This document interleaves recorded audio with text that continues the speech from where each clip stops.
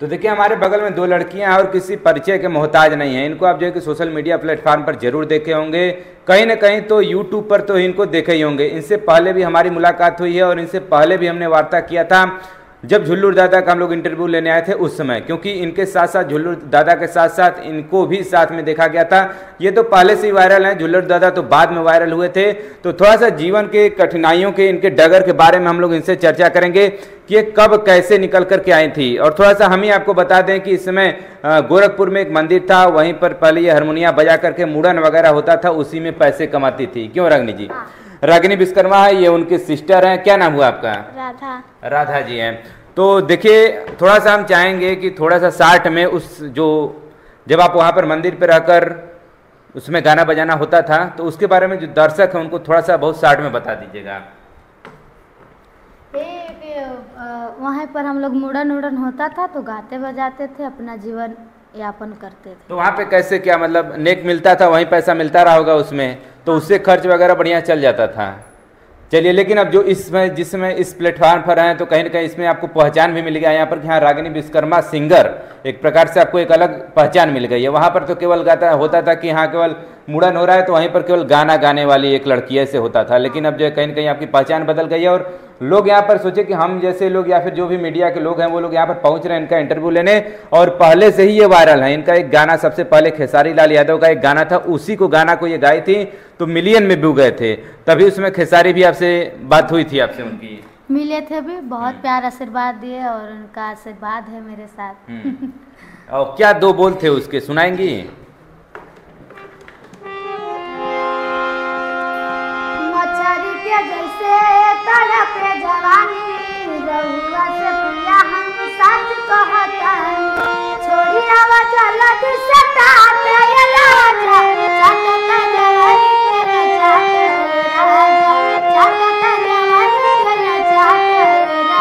ये आपका वायरल गाना था जो सबसे पहला वायरल हुआ था। तो इसमें सावन का सीज़न चल रहा है तो इस सावन के महीने में कोई एक सावन वाला गीत हो जाए जो कि अभी अभी आपका हाल ही में पब्लिश हुआ है।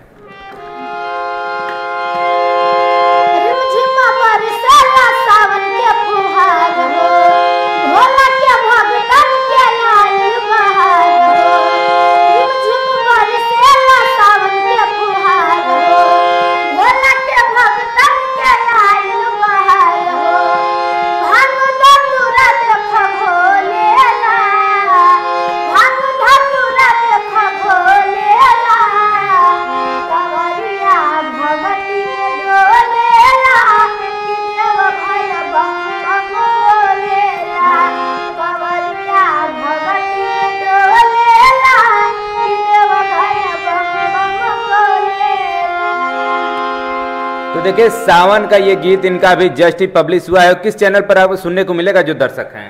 मेरी रागनी विश्वकर्मा बहुत प्यार मिला डेढ़ लाख चला गया दो तीन दिन में। चलिए देखिए सावन का समय है तो उसको प्यार तो मिलना लाजमी है और रागिनी विश्वकर्मा का कोई गीत गा दे वो तो वैसे ही वायरल चला जाता है।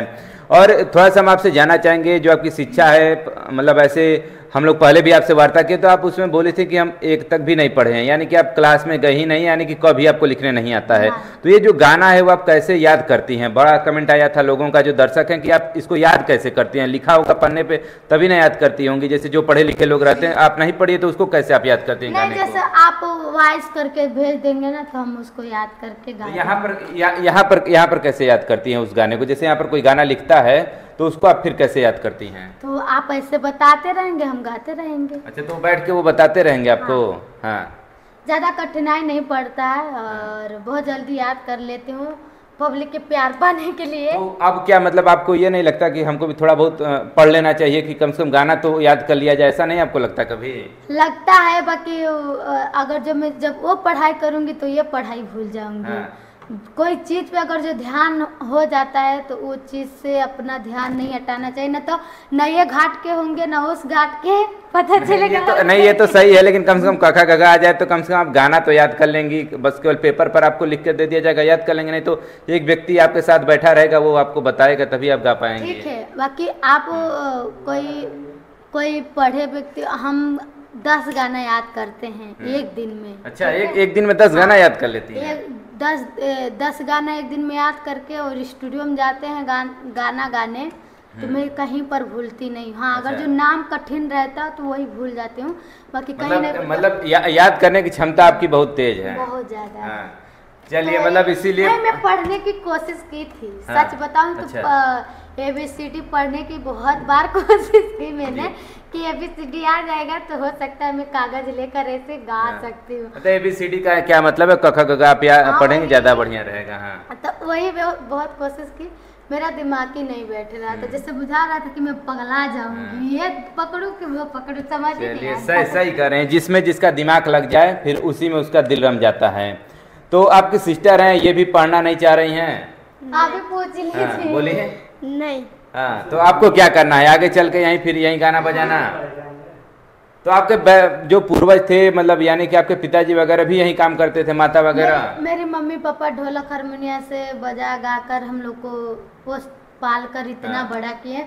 तो उसके बाद हम लोग भी वही पकड़ कोई भी जैसे आपके घर में दरोगा साहब होंगे तो आप भी दरोगा बन जाएँगे।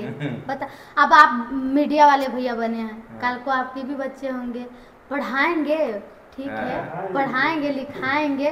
बाकी उनका भी मन रहेगा मैं भी पापा हाँ। के जैसे मैं भी ये बनू मुझे भी नाम रहे तो होता रहता है हर परिवार परिवार में आपके कौन कौन है? कितने भाई बहन आप लोग हैं? हम लोग तीन बहन तीन भाई। अच्छा। भौजाई सब कोई है भतीजे हाँ। छह भतीजा हैं। हाँ। नहीं ये भाई बहन में क्या पढ़ाई सबकी हुई है और किसी की नहीं? हमारे फैमिली में कोई नहीं पढ़ाई हाँ। उस टाइम जिस टाइम हम हम लोग पैदाइश हुआ था और जिस टाइम तो- मम्मी पापा हम लोग के गा बजा कर हाँ। तो मतलब पैसे की दिक्कत थी उस हाँ, समय। उस हाँ। टाइम पैसे की दिक्कत थी। अभी हम लोग अपने भतीजी भतीजा को पढ़ा रहे हैं। अच्छा अच्छा। मतलब अब पैसा मतलब आ रहा है तो बढ़िया से पढ़ाई लिखाई चल रहा है। चलिए आपके भी एक गीत हो जाए। और चूँकि ये भी गाना गाती हैं और अपने सिस्टर के साथ ही रहती हैं तो इनके भी एक गाना सुनिए और ये भी काफ़ी वायरल हैं और इनके भी गाने आप सुने होंगे, नहीं सुने हैं तो आप हमारे चैनल के माध्यम से भी सुन सकते हैं।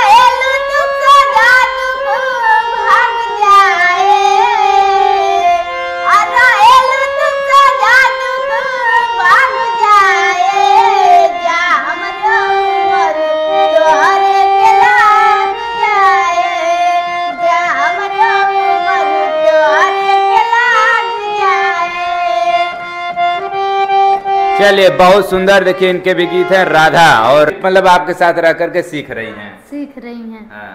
अब सबके पाँचों उंगलियाँ एक बराबर नहीं ना हाँ, है हाँ। चलिए कब तक ट्रेंड कर देंगे इनको? नहीं मेरे ऊपर नहीं है। जो भी कुछ है आप लोग के प्यार मतलब रियाज मतलब रियाज तो कर रही होंगी ना लगातार। आप सबके ऊपर है और पब्लिक का प्यार सपोर्ट से। हाँ। हम क्या करेंगे? भाई हम हम खुद आप लोग के बदौलत से हैं। नहीं नहीं ऐसा नहीं है। आपकी आपके आपकी काबिलियत है तभी तो आप यहाँ तक पहुँची हैं। अपने काबिलियत के बल पर ही तो आप यहाँ तक पहुँची हैं। लोगों का काम है हाईलाइट करना लोगों के लोगों के पब्लिक तक हम लोग को पहुँचाना एक काम है लेकिन जो कि आपकी काबिलियत है आपके गाने अच्छे आप गाती हैं तभी तो पब्लिक आपको पसंद करती है। तो वही तो अ, हम्म। क्या बोला जाता है ना? का जाने कैसे रूप में भगवान मिल जाते तो मैं मेरा चलो वही भगवान वही वाला लास्ट में गाना करते हुए खत्म किया जाए। माइक थोड़ा सा ले लीजिए और यही वाला जो एक भक्ति गीत है जो भी आप बोली हैं वही वाला वो नहीं आता है हाँ। मैं दूसरा हाँ कोई एक भक्ति गाना होते हुए फिर जो है कि हम लोग वीडियो को समाप्त करेंगे और फिर बाद में जब कभी दोबारा फिर से हम लोग रागिनी विश्वकर्मा से मिलेंगे तो फिर से इनसे कुछ न कुछ वार्ता ज़रूर होगी।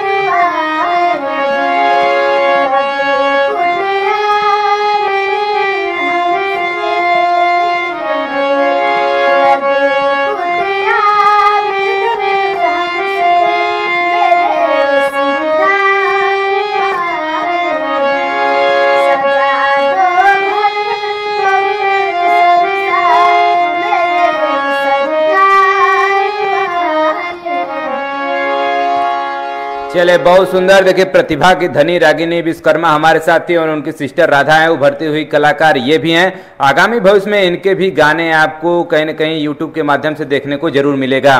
और रागिनी विश्वकर्मा आज हमारे साथ जुड़ी हुई थी, इनसे हम लोग जो है कि जानने का प्रयास किए कि इनके वैश्विक जो जो इनकी पृष्ठभूमि थी, कैसी थी और अब जाकर के इनके जीवन में कितना बदलाव आया है। बहुत जल्द ही शादी के लिए भी बड़ा डिमांड हो रहा है तो अभी आपकी शादी करने की भी इच्छा नहीं है। इनका कहना है कि अभी पिताजी से संपर्क जो लोग करेंगे, उसके बाद ही शादी हो पाएगी। क्योंकि जो लव मैरिज वाला मामला है, उससे बड़ा खिन्न है, ये भी इनको जो है कि पसंद नहीं कि लव मैरिज हो, अरेंज मैरिज का ही इनका पूरा पूरा जो है कि ध्यान उसी पर है। अभी तो पूरा फोकस आपका गाने पर है, इसके बाद जब कभी, अभी थोड़ा सा परिवार जब अच्छी तरह स्थिर हो जाए, उसके बाद ही शादी करने का कोई प्लान होगा। रहेगा तो होगा ही। हम्म, मम्मी हम्म, पापा देखेंगे। हाँ। मम्मी पापा का देखा हुआ कोई चीज़ गलत नहीं हो सकता। किसी की। मम्मी पापा देखेंगे तो हम्म। अच्छा ही घर दुआ अच्छा चलिए बहुत बहुत धन्यवाद। देखिए प्रतिभा के धनी ये लोग हमारे साथ आज जुड़ी हुई थी और ऐसे ही प्रतिभा के धनी लोगों से हम आगे भी आपको रूबरू करवाते रहेंगे। खबर देखने के लिए बहुत बहुत धन्यवाद।